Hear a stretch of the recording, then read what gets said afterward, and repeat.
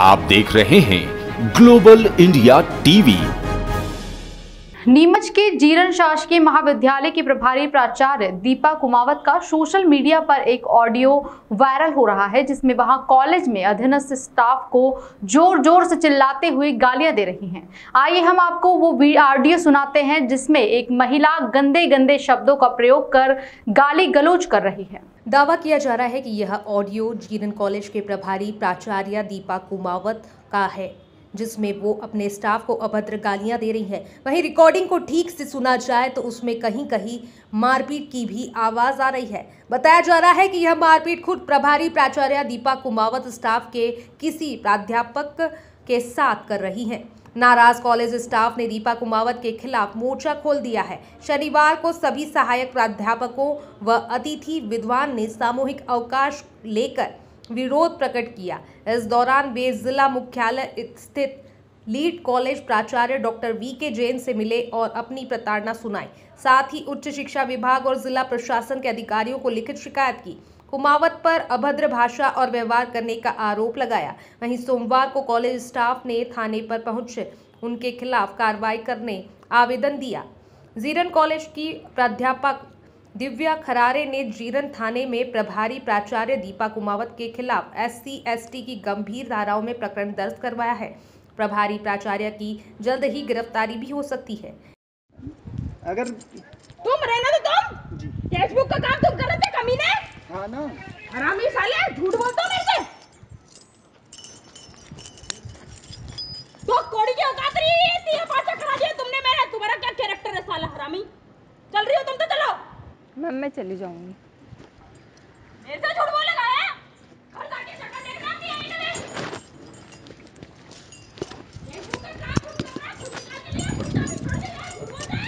Ma'am lock करके वापस रखी थी मैंने हरामी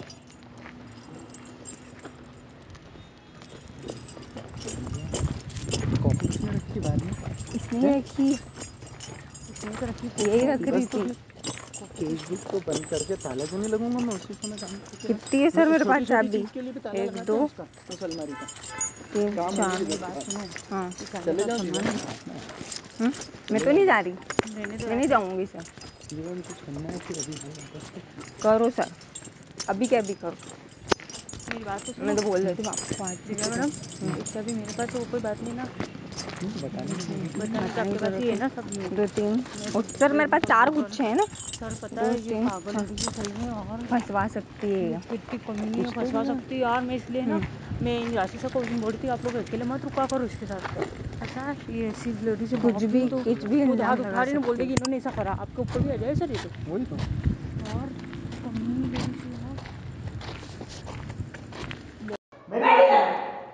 क्या मेरी बात सुनो आप मेरी बात सुनो बैठ साले हरामी बैठ बैठ बैठ जा बैठ बैठ जा बैठ बैठ बैठ। नीचे बैठ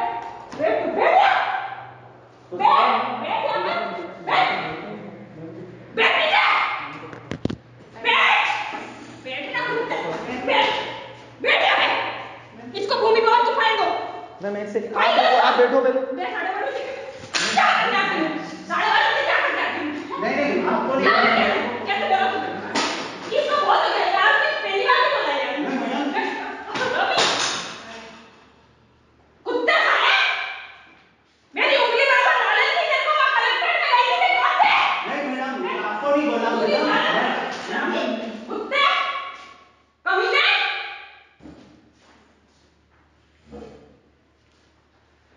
अपने गिरवाने में झाड़ कुत्ता आदमी आपको नहीं मैं बोला किसको बोला था मैं आपको नहीं बोला किसको मैडम बोला आरोप प्रत्यारोप बहुत लगते हैं मैं दो मिनट लगाऊँगी कि मेरी महिला प्राध्यापकों के सीने में झांकता है और मेरे सीने में झांकता है क्या कर लो नहीं क्या कर लोगे तुम तुमने गलत आरोप लगाया मेरे ऊपर तुम तीनों की सियार लिखोगी पढ़ कर सियार की तुम्हारे नाम बदल दूँगा इस बार तुम्हारी सियार को सारे पुलिंद लगाऊँगी सियार में किसी लिखवाया ना इस बार तुम तीनों की सियार मैं लिखूँगी कहीं जाएगी विवाद एक दिन का नहीं है।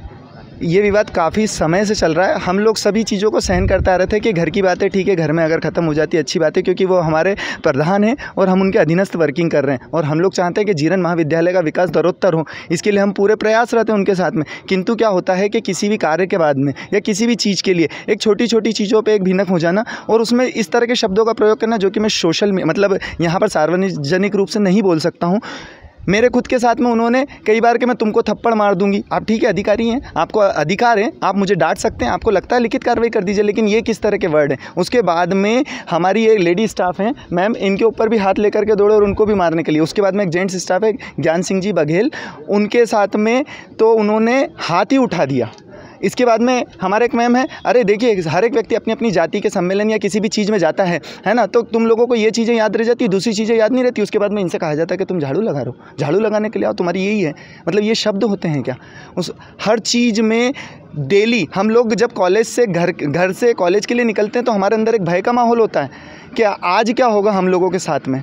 हर व्यक्ति पूरे भय भय के वातावरण में नौकरी कर रहा है। तो ऐसी स्थिति में हम रोज़ाना कैसे नौकरी कर सकते हैं? एक दिन का होता तो हम भी समझ लेते तो कोई दिक्कत नहीं। इसके पहले भी उनने इसी द्वेषतापूर्ण दो अतिथि विद्वानों को वहाँ से निष्कासित किया है। और जीरन परिक्षेत्र में आप उनकी छवि जानना चाहें तो पता कर सकते हैं। महाविद्यालय का व्यक्ति नहीं, आज एक व्यक्ति पीड़ित नहीं है। इन लोगों को बुलाया नहीं गया, ये स्वयं आए, सबकी अपनी अपनी एक पीड़ा है और उस पीड़ा को यहाँ पर मतलब बताने के लिए। और फिर उसके बाद में जो हमारे एस सी के बंदे हैं, उन लोगों के साथ में जाति सूचक शब्दों का प्रयोग किया जाता है। वो दिव्या में बताएँगे किस तरह के शब्द हैं? बताइए दिव्या में एक और चीज़ मैं पूछना चाह रहा था कि आ, उन्होंने इसी धमकी भी दी है कि वो आप जैसे जेंट्स स्टाफ को आ, किसी आरोप प्रत्यारोप बिल्कुल बिल्कुल।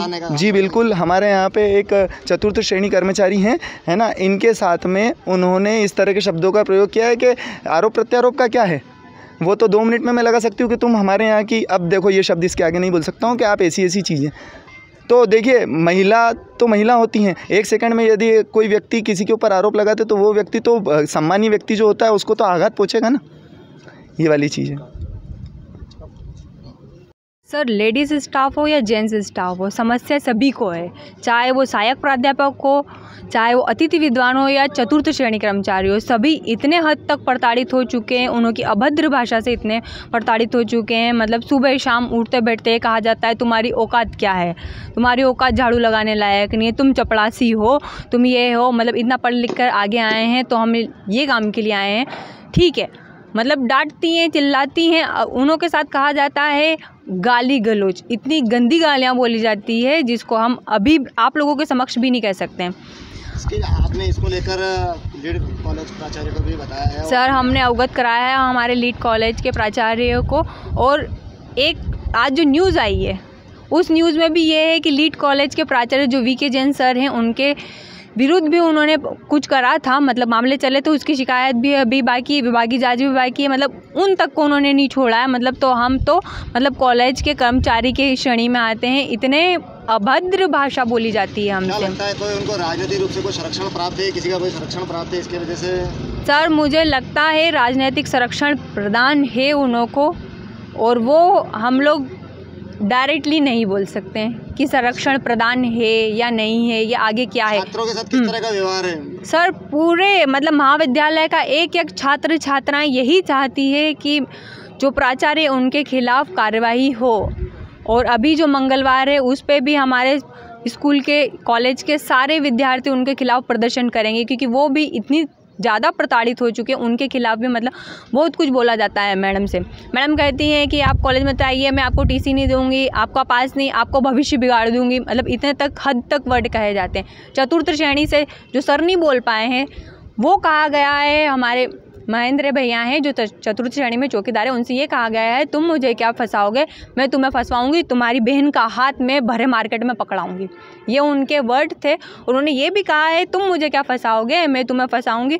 तुम मेरे और मेरी महिला स्टाफ की छाती पर नज़र रखते हो। ये इसके तहत मैं तुम्हें फंसाऊँगी। ये वर्ड उन्हों की लाइन है। क्या आप बताइए कि यह उन्हों की ये मतलब ये परिसर में कहने का लहजा है?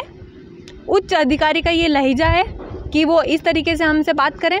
मतलब चाहे तो वो हर किसी को हर केस में फंसा सकती हैं। हमें कागज़ी कार्रवाई में फंसा सकती हैं कि आपका ये कागज़ नहीं वो कागज़ नहीं है। अभी शनिवार को वो प्राचार्य अखेली कॉलेज में मौजूद थी। उन्होंने ये कहा है कि सारी फाइलें ऊपर नीचे हो गई है। पूरा स्टाफ सामूहिक अवकाश पे था अकेली वही थी और उन्होंने ही ऊपर नीचे करा और हमारे ऊपर मंगलवार को ये आरोप लगाया जाएगा कि आप लोगों ने सारी फाइलें ऊपर नीचे की मेरा नाम दिव्या खरारे है। पहले तो मध्य प्रदेश के मुख्यमंत्री मान्यवर शिवराज सिंह जी चौहान साहब और शिक्षा मंत्री मान्यवर डॉक्टर मोहन यादव जी को धन्यवाद दूँगा कि उनने जीरन में बच्चों के लिए बेटा बेटियों के लिए कॉलेज खोला और एक सौगात दी, नई बिल्डिंग की भी सौगात दी।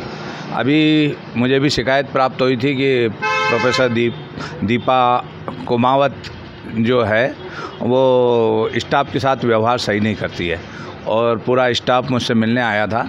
मैंने इस बात को सम्मानीय जिलाधीश महोदय और उच्च अधिकारियों को बता दी है। इसके खिलाफ यदि कोई भी साक्ष्य पाए जाएँगे, जाँच करा के उसके खिलाफ जो भी दोषी होगा, उसके खिलाफ कार्रवाई की जाएगी। मूल रूप से शिक्षा का पावन मंदिर है महाविद्यालय। और उस महाविद्यालय में हम देखते हैं कि जो बच्चों का एडमिशन था कल, और एडमिशन के समय सारा स्टाफ मुझे आवेदन देने आया था। तो मैंने उनसे ये भी कहा था कि आप शाम के समय भी आ सकते हैं, सुबह के समय भी आ सकते हैं। यदि बच्चों के फॉर्म भरा रहे हैं तो आप फार्म भरना चाहिए और आपकी बात सुनने के लिए जिलाधीश है, लीड कॉलेज के प्राचार्य है, विधायक है, हमेशा आपकी बात सुनने के लिए तत्पर है। मैं तो सबसे ये कहूँगा कि वो पावन मंदिर है, जहाँ बेटा बेटियों को विद्या दी जाती है। वहाँ किसी प्रकार का व्यवहार गुरुओं के साथ अच्छा होना चाहिए। और कोई भी यदि प्रधानाचार्य यदि प्रिंसिपल भी है और वो स्टाफ के साथ यदि मोहब्बत के साथ नहीं रह सकता है तो फिर उसमें कुछ ना कुछ कमियाँ हैं। और मैंने तत्काल जो स्टाफ मेरे पास आया था, उनने जो प्रा- प्राचार्य के खिलाफ जो बात कही थी, मैंने तत्काल फ़ोन लगा के जिलाधीश को भी बताया और प्राचार्य को भी बताया कि आप जिस प्रकार से टी मोबाइल में बोल रही है चिल्ला चिल्ला के तो उनने कहा हाँ मेरी गलती हुई है। और मैंने कहीं मैं दिमाग से एकदम मेरे को गुस्सा आ गया था इसलिए मैंने बोला है। तो मैंने कहा आप उन सभी स्टाफ के लोगों से माफ़ी मांगे उनके साथ में रहें और फिर भी हमने एक कमेटी गठित करेंगे और इसकी जाँच कराएँगे जो भी दोषी होगा हाँ, उसके खिलाफ कार्रवाई की जाएगी। इसमें राजनीतिक संरक्षण का कोई जो आप बता रहे हैं कोई राजनीतिक संरक्षण नहीं है।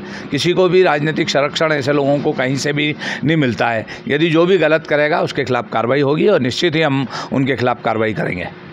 नीमच से जीवन ठाकुर की रिपोर्ट।